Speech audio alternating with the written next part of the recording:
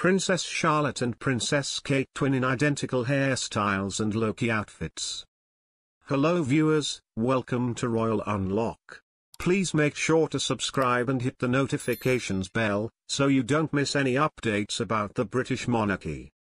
Princess Charlotte and Princess Kate had their ultimate twinning moment at the coronation of King Charles in 2023, with the women of Wales wearing white gowns and intricate braided hairstyles, but this was not the first time that Princess Charlotte and her mother, the Princess of Wales, had been present.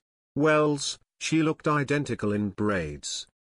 An old photo of the Princess of Wales, when she was known simply as Kate Middleton, shows the future princess sitting on the lap of her father, Michael Middleton, in a casual shirt with her hair styled in two loose braids. The princess looks undeniably cute, and bears an uncanny resemblance to Princess Charlotte when she joined her parents at the Commonwealth Games in Birmingham in 2022, sporting the same hairstyle as her mother, along with a cute striped dress.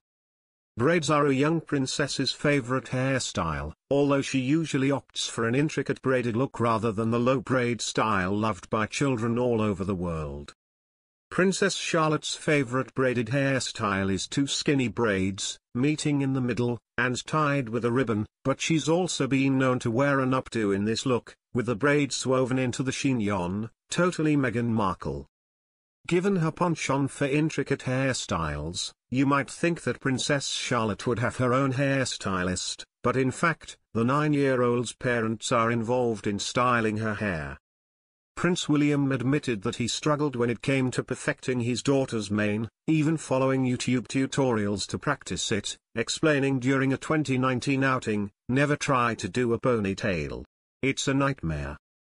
In support of her husband, the Princess of Wales added her daughter's favorite style, have you tried making a braid? It's the texture. Really difficult. Prince William proved his sense of humor when he made a joke about his lack of hair, adding, I can do, Princess Charlotte's, ponytail, but that's the thing because I don't have enough hair to practice on. The Princess of Wales seems to be getting the hang of her daughter's hair, as she was photographed playing with it and smoothing it during trooping of the color. Thanks for watching, please don't forget to subscribe. See you in our next video.